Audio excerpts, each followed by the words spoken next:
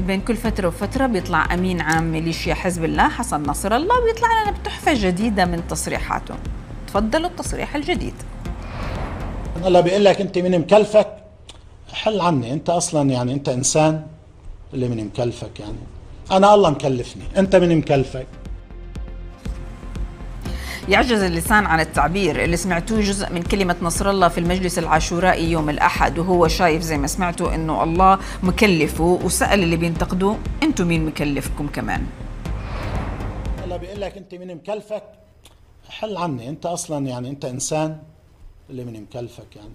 أنا الله مكلفني. أنت من مكلفك؟ أنا الله مكلفني. نحن ناس الله مكلفنا لأنه نحن ناس نخاف يوم الحساب. نحن ناس منخاف الله يوم القيامة. حديث نصر الله عن التكليف الإلهي فتح عليه أبواب السخرية كلها من اللبنانيين وكثار اختاروا يشبهوه بمدعي النبوة الشهير النبي نشأت. هذا لو تتذكروا مشاهدينا الشخص ظهر من فترة على المنصات واشم على راسه ماسك كده عصاية وادعى أنه نبي ومرسل من السماوات وجلس يدعو العالم للنورانية.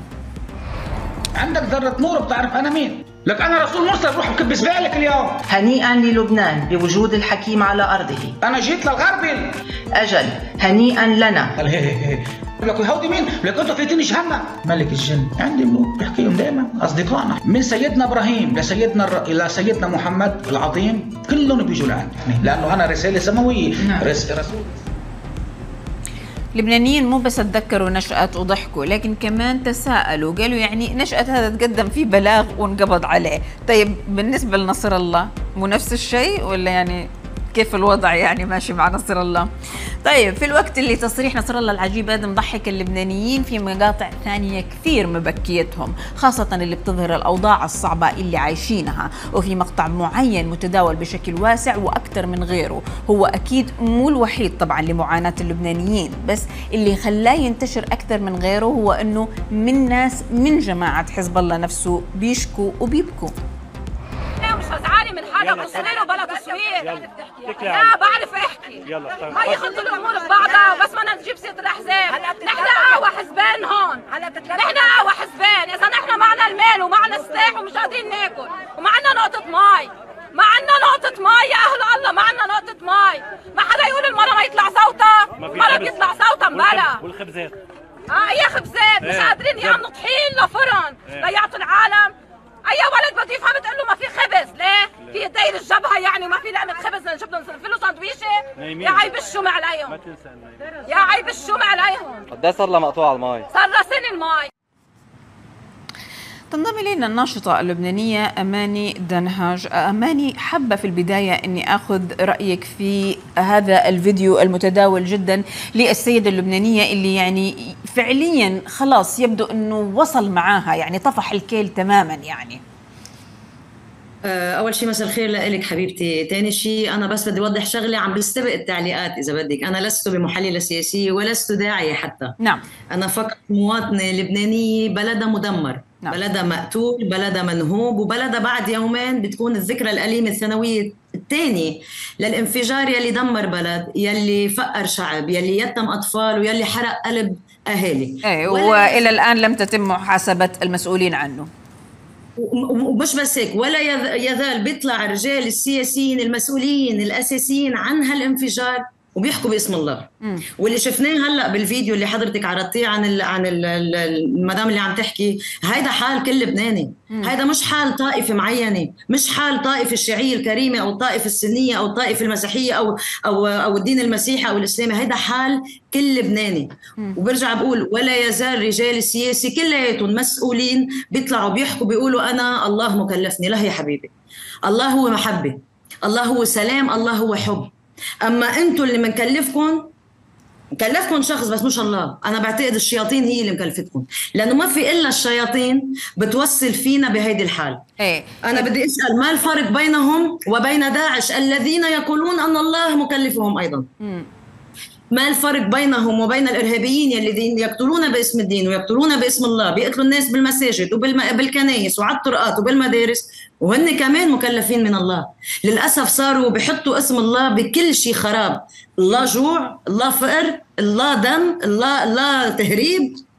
للأسف يعني بتوصل للمرحلة وين بدك تتناقشي معي؟ خلص بيوقف النقاش.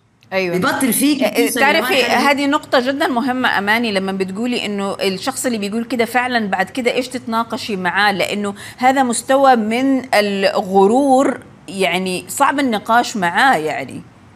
م- مش بس هذا مستوى بعيد كل البعد عن إنك تكون قريب لله. لأنه كل الرجال السياسيين بلبنان من أكبرهم لأصغرهم ما بيعرفوا الله. إيه. لا لا هو بيقول عشان بس يعني نسترجع كلماته بيقول إنه لأنه نحن بنخاف الله بيقول. فهل معنى هذا. إنه الباقي كله ما بيخاف الله يعني؟ احتكر هو هذا الموضوع؟ ما الدواعش كمان بيقولوا بيخافوا الله. آه. والإرهابيين بيحكوا باسم الله. وين الفرق؟ ما نحن عم نضيع بقى مش عم نعرف مين بدنا نصدق. يعني وين بدنا نروح. آه، يعني آه، يا ريت بيوضعوا اسم الله جانبا لا. لأنه لأنه للأسف عم يستخدموه بكل شيء بدهم اياه إيه بس هو كمان حتى بالنسبة. يعني حتى في خطاباته الآن هو يعني بينتقد أي شخص بينتقده يعني اي شخص بينتقده بيقول له أنت مو إنسان يعني هيدي لأنه هيدي هي الطريقة اللي عندهم إياها هيدي الطريقة اللي هن بيستخدموها لأنه برجع بقول لك ما في نقاش بينتهي وقت يقول شخص أنا مخول من الله يعني ما فيك تقربي عليه يعني ما يعني ما فيك تحاسبيه وهذا اللي عم نشوفه. أرجيني من هو المحاسب في لبنان؟ من هو المحاسب عن عن أكبر انفجار صار بالبلد؟ لهلأ ما في شخص واحد منهم انحط بال- بال- بالحبس. فطبعا هن بيعتبروا حالهم هن أعلى من من البشر الطبيعيه طب- ممنوع الانتقاد. إيه أماني يعني لما شفت اللي هو مدعي النبوة النبي نشأت قامت الدنيا عليه وتمسخروا عليه وكذا واتمسك وانقبض عليه. أه، إيش تتوقعي مصير نصر الله؟ هل لازم يقبض عليه مثل نشأت؟ كل شخص سياسي. لا لا على فكرة نشأت المدعي النبوي ما أذى حدا. مم. لم آه، آه، ما خلى البلد يتفقر. ما سرقنا ما نهبنا ما قتلنا. ولكن كل شخص سياسي بلبنان مش بس لازم يتحاكم. هذا الشخص فعلا لازم يعدم. لأنه على مدار 30 سنة الناس عم تموت. الناس عم تموت على باب المستشفيات. أرواح الأطفال عم تكون ما في لا كهرباء ولا مي ولا مثل ما قالت السيدة. عفوا الجوع بدق الباب يعني بدق بيقول له أنت مسلم ولا مسيحي؟ لانا فوت لعندك. الانفجار فرق بين مسلم ولا درزي ولا مسيحي ولا شيعي؟ آه.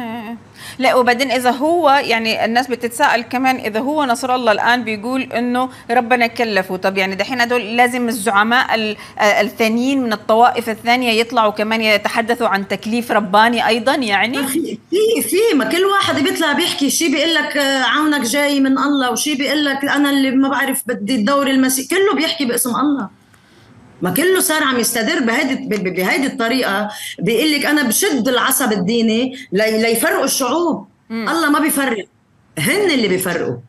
وهيدا الناس اللي هلأ عم تبلش يمكن آه، تقدر بقى تشوف إنه لا الفقر عم بدق باب الجوع وال- وال- والمرض صح باب صعبة يعني وأتمنى أنه الناس كمان تنتبه لهذا النوع من الخطاب اللي يعني صراحة يعني جنوني يعني. هيدا خطاب أنا بالنسبة لإلي وبالنسبة لكثير من الناس هيدا خطاب صراحة إن كان هو ولا إن كان أي أي. شخص سياسي أنا بتعامل معهم على أساس سياسي هيدا خطاب خطاب آه، تفرقة هيدا حديث آه، حديث ما ما بمت الله بصله صراحة. نعم. طيب نحن بنشكرك على هذه المداخلة. كانت معنا الناشطة اللبنانية أماني دنها شكرا لك أماني. شكرا حبيبي.